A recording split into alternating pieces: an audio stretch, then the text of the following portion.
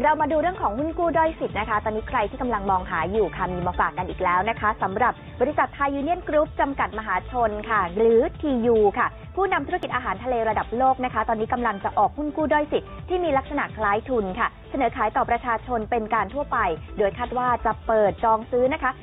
26-28 พฤศจิกายนนี้ติดตามรายละเอียดกันค่ะ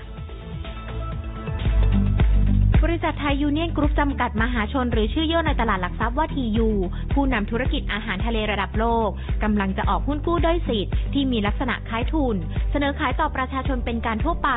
โดยบริษัททริสเรทติ้งจำกัด จัดอันดับความน่าเชื่อถือของผู้ออกหุ้นกู้ A บวกแนวโน้ม stable และอันดับความน่าเชื่อถือของหุ้นกู้ A ลบแนวโน้ม stable อัตราดอกเบี้ย 5%ในช่วง 5 ปีแรก จากนั้นจะปรับทุก 5 ปี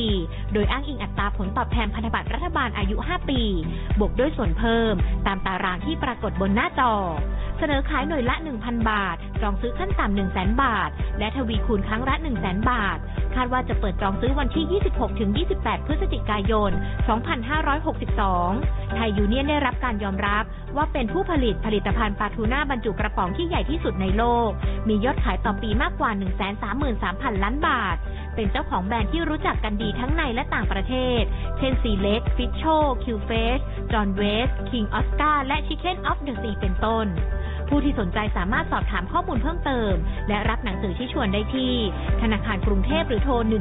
1333 ธนาคารกรุงไทยหรือโทร 02-111-1111 ธนาคารไทยพาณิชย์หรือโทร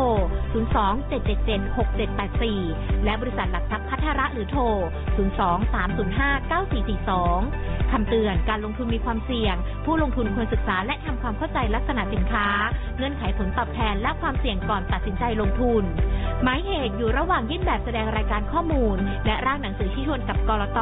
ซึ่งยังไม่มีผลใช้บังคับ การจัดสรรขึ้นอยู่กับดุลยพินิจของผู้จัดการการจัดจำหน่ายหุ้นกู้ เงื่อนไขการจัดจำหน่าย เป็นไปตามที่กำหนดในร่างหนังสือชี้ชวน